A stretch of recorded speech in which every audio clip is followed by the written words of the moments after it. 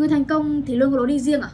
Đây là câu hỏi đầu tiên hiện lên trong đầu mình sau khi mình đọc xong câu chuyện của Anatoly Mosvin. Anatoly sinh vào ngày 1 tháng 9 năm 1966, là một nhà ngôn ngữ học, ngữ văn và là nhà sử học khá nổi tiếng, người Nga. Các học giả của ông đã miêu tả Anatoly là một thiên tài và đồng thời cũng là một kẻ lập dị. Anatoly có một niềm đam mê sâu sắc với thế giới tâm linh, những nghi lễ, sự huyền bí và thậm chí ông ta còn có cả một bộ siêu tập búp bê cỡ đại nữa, tức là những con búp bê có kích cỡ bằng người thật ấy.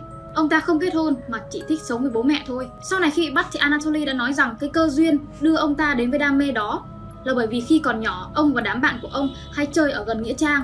Và có một lần ông đã bị đám bạn học của mình ép phải hôn của một cô bé 11 tuổi. Nếu mà bản thân chúng ta phải trải qua cái sự việc đó thì chắc hẳn sẽ để lại một cái ảnh hưởng tâm lý kinh hoàng. Nhưng đối với Anatoly thì khác. Cái sự kiện đó lại là dấu mốc quan trọng để đánh dấu cái sự thay đổi về sở thích sau này của ông ta. Vào năm 2011, Anatoly Mosvin đột nhiên bị bắt sau khi cảnh sát phát hiện ra vô số ngôi mộ trong khu vực bị khai quật không rõ lý do. Tất cả chúng là của những cô bé và những phụ nữ có độ tuổi từ 3 đến 29 tuổi. Sau khi khám xét nhà và phát hiện ra bộ siêu tập có tổng thể 26 công bê của Anatoly, thì cảnh sát đã biết rằng có điều gì đó thực sự không ổn ở đây rồi.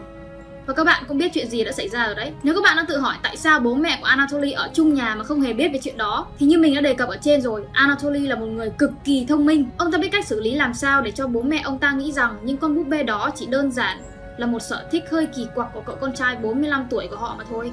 Sau này Anatoly có khai rằng động cơ ông ta làm vậy là bởi vì muốn đưa những cô gái đó trở lại với thế giới loài người một lần nữa một cuộc giám định tâm thần đã xác định rằng Anatoly Mosvin đã bị mắc chứng rối loạn hoang tưởng.